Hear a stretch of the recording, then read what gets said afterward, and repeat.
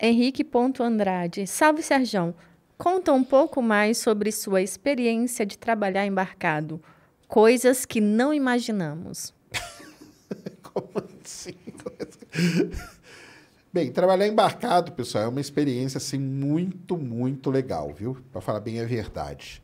Eu trabalhei alguns anos, trabalhei em navio de aquisição sísmica, trabalhei em navio de perfuração e trabalhei em plataforma também.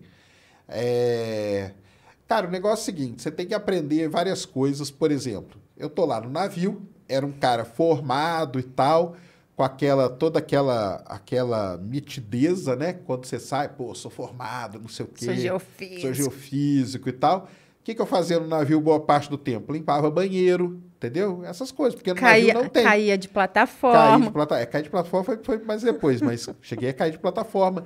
Mas eu limpava banheiro, eu ficava, eu lembro direitinho, lembro direitinho, como se fosse hoje.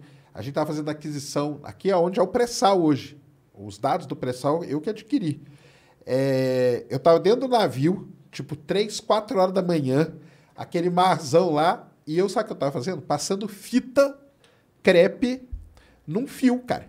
E eu lá passando, eu lembro até hoje, falei, caramba, cara, eu não acredito que eu estudei. Fiz aquele monte de lista, de cálculo, pra de isso. física, para fazer essa merda que eu tô fazendo, cara. Que, que vida desgracenta, entendeu? Mas, cara, você vai aprendendo que é assim, entendeu? Então você vai fazendo de tudo e, e é muito legal. Já contei alguns casos, já caí de plataforma, entendeu?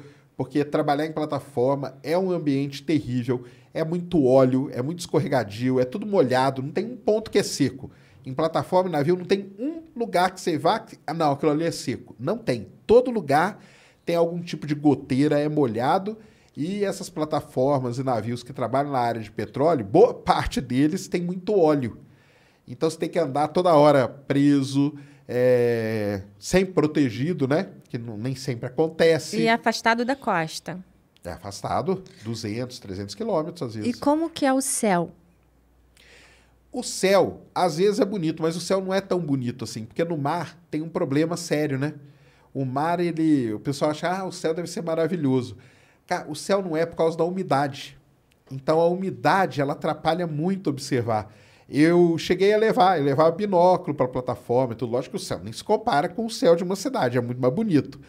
Mas não é aquele céu que o pessoal acha que vai ser incrível e tal, por conta da umidade. Então ele cria uma camada, assim, que atrapalha bastante fazer observação. Por isso que não tem observatório, senão era fácil, né? Ah, né? Pegava uma plataforma, pegava um observatório e metia lá no meio do Oceano Atlântico, olha que maravilha. Exato. Mas a astronomia ela precisa de uma atmosfera seca, né? Então por isso que as montanhas. Geralmente são nos desertos. É.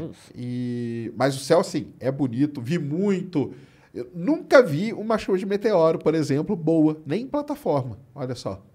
Mas, Apesar que tu não gosta de chuva de meteoro, é, então. então. Eu tenho, tenho é. raiva com eles, mas. É. Mas. É um, cara, é um trabalho assim legal, é um que você aprende bastante coisa, bastante coisa de coisa que você nunca estudou e nunca viu na sua vida. Você tem que aprender, porque você está ali no navio, é todo mundo fazendo aquilo ali. Só tem aquela. Eu trabalhei em navio que era 20 pessoas, outros que era 30. Então são 30 pessoas para fazer tudo. Cama quente. Cama quente, eu trabalhei muito tempo também. Cama quente, para quem não sabe, é você, enquanto você está trabalhando, tem alguém dormindo na sua cama.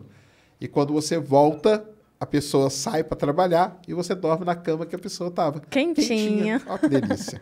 é muito bom, é muito bom mesmo.